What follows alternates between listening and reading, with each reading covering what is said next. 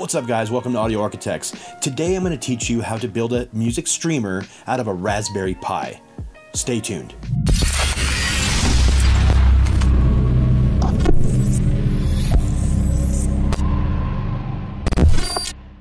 What's going on everyone? Mike with Audio Arkitekts here, and today I'm going to teach you how to build your very own Raspberry Pi music streamer.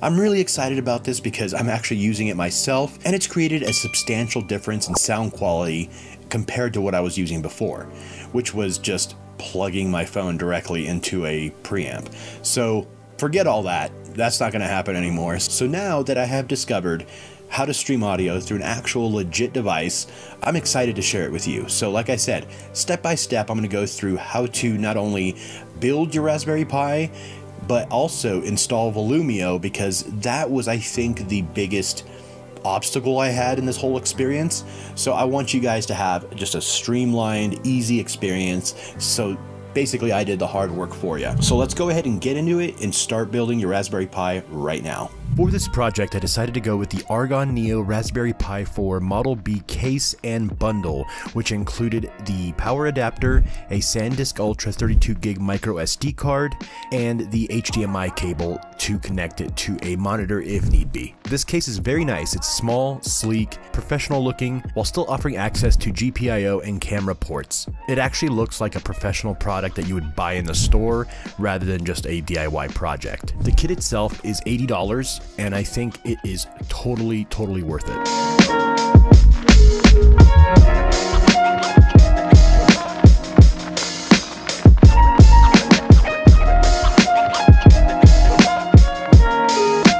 One tool you'll need is a very small screwdriver like this.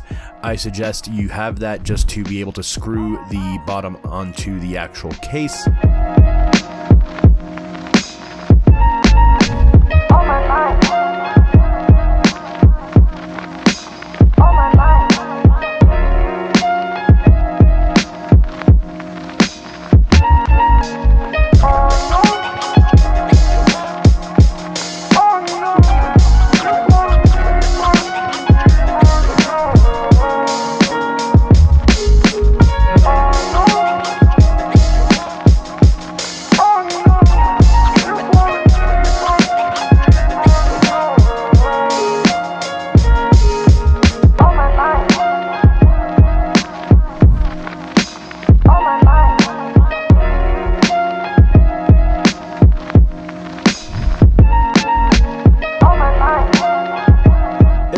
Far has been pretty self-explanatory, however in this clip I'm placing the thermal material onto the processor of the board.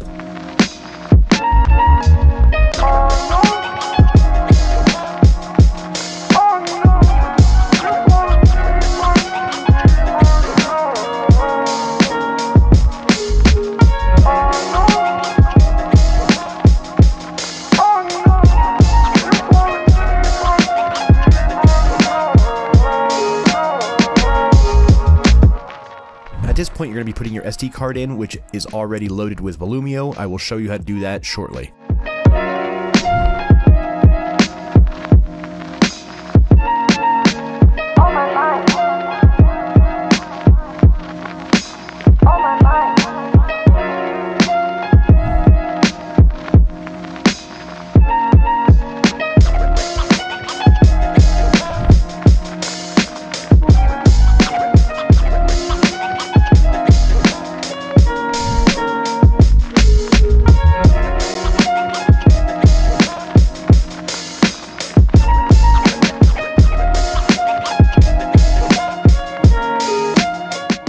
Voila, it's all done.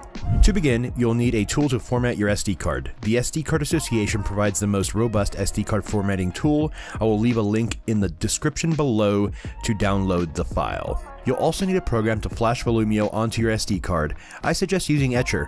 Once you have your SD card plugged into a SD card reader, I suggest using one by Anker. You'll go ahead and just do a quick format on the card to get it all cleared out. Oh, After that, you're going to go ahead and download Volumio directly from their website. Make sure you download the Raspberry Pi version. This will create a zip file on your hard drive to the image file you'll need to flash onto your SD card. Once you have Etcher loaded up, go ahead and locate the image file you downloaded from Volumio. Then you're going to select your target drive, which is going to be your SD card. Make sure you choose your SD card, very important. And then go ahead and hit flash. It gave me a funky warning because I was using a different card.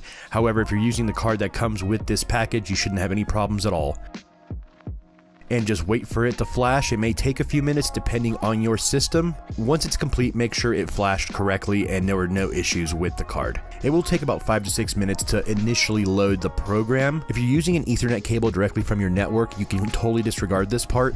However, if you do want to use the wireless feature that this Raspberry Pi offers, go ahead and check out these steps. Once it's all loaded up, the Raspberry Pi will create its own mobile hotspot called Volumio. So go ahead and go to your PC and connect to the mobile hotspot by using the password Volumio2 all lowercase. That should take you to Volumio's user interface for the PC. Here, you're going to be basically doing a normal basic setup for your Volumio.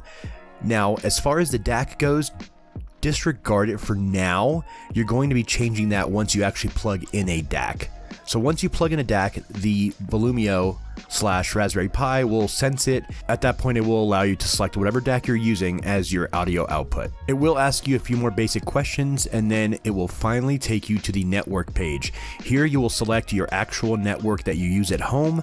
Make sure you put in the password in correctly and from there it, it will link up directly to your network and you'll never need to mess with this part of the process again, unless of course you change networks. It does offer the ability to add another device, however, for now we're good to go.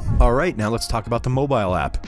The mobile app is extremely easy to use. It's going to search for the actual device, and once it finds the device, it will pop up and you just click on Volumio or whatever it is you named it. Then you can just scroll through the user interface, super easy, really robust. It couldn't be any easier. Make sure to go to plugins and download Spotify if that's what you use as your music player. I use Spotify, so I went ahead and downloaded the plugin. And if you go back to the main screen, you can just go directly to Spotify on the user interface and it links up to all your playlists and it uploads all the all the cover art. It's really really cool. This video is actually going to be part of a three video series. In the next video, I'm going to be showing you everything you need to know about the Topping E30 DAC that I'm using with this unit, as well as the amplification I'm using, which is the Stark 84. So stay tuned for those videos. Okay everyone, thanks for staying till the end. I hope this tutorial was not only helpful, but entertaining at the same time. I know things get kind of boring when it's screen share time and stuff like that, but thanks for sticking around. As always, if you enjoyed the video, smash the like button. Please subscribe to the channel because that helps me out so much. And ring the bell to get notified anytime I put out new content. Thanks again for tuning in. And don't forget, the next video I'm going to do is on the topping DAC, which connects directly into the Raspberry Pi. It's a very integral part of this whole system, so stay tuned for that. Thank you so much for joining me. See you next week.